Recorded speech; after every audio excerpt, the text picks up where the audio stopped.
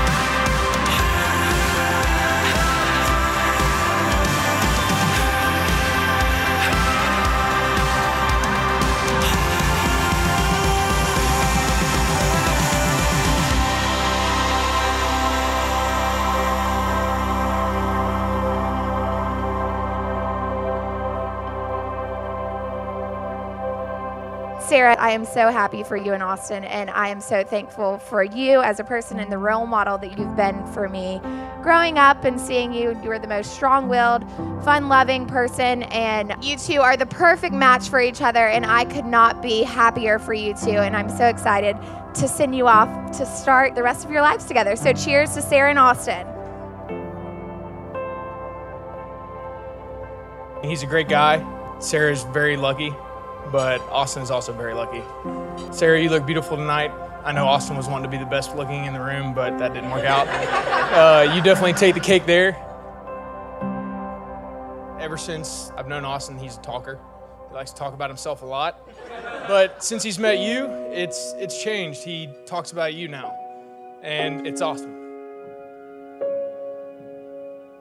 Austin, will you have this woman to be your wedded wife? To live together after God's word in the holy estate of marriage. We love her, comfort her, honor and keep her in sickness and in health, forsaking all others to be faithful only to her, so long as you both shall live. By God's grace, I will.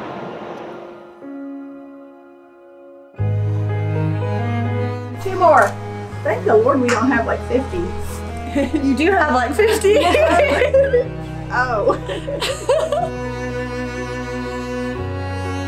Sarah, will you have this man to be your wedded husband, to live together after God's word in the holy estate of marriage? Will you love him, comfort him, honor and keep him in sickness and in health, forsaking all others to be faithful only to him, so long as you both shall live? By God's grace, I will. What kind of love? See, I think most often we love conditionally. We even do that in marriage. We love when we are loved the right way.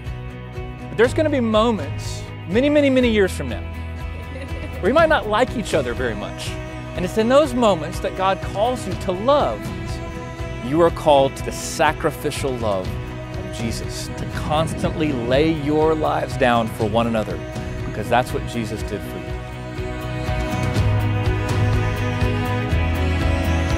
I, Austin, take you, Sarah. To be my wedded wife. To be my wedded wife. I, Sarah, take you, Austin. To be my wedded husband. To be my wedded husband. To have and to hold from this day forward. To have and to hold from this day forward. For better or for worse. For richer or for poorer. For richer or for poorer. In sickness and in health. For sickness and in health. To love and to cherish. To love and to cherish. Forsaking all others. Forsaking all others. Till death do us part. Till death do us part. This I do promise and covenant. This I do promise and covenant. Before God and these witnesses. Before God and these witnesses. Before God and these witnesses. According to God's holy word. According to God's holy word.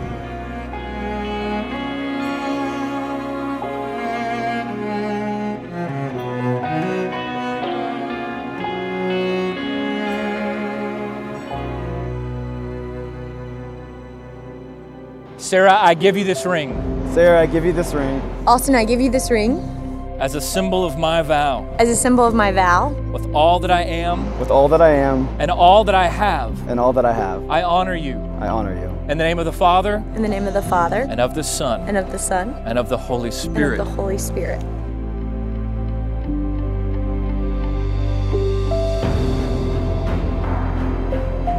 To Sarah and Austin, love unconditionally. Never be afraid to say, I'm sorry. Give thanks to God for everything in your life. Live each day to the fullest, not dwelling on the past or worrying about the future.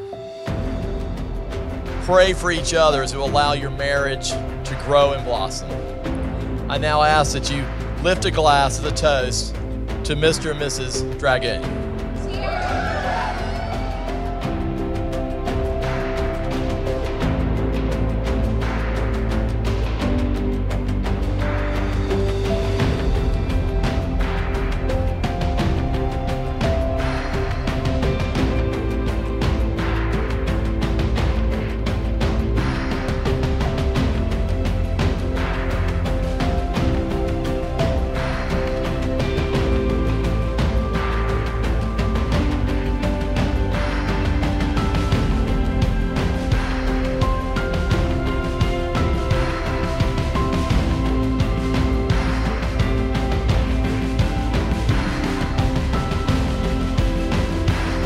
Pronounce you husband and wife.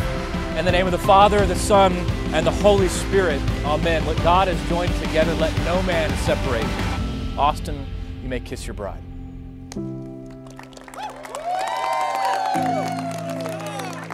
It is my privilege this evening to present to all of you for the first time ever Mr. and Mrs. Austin Sykes Dragoon.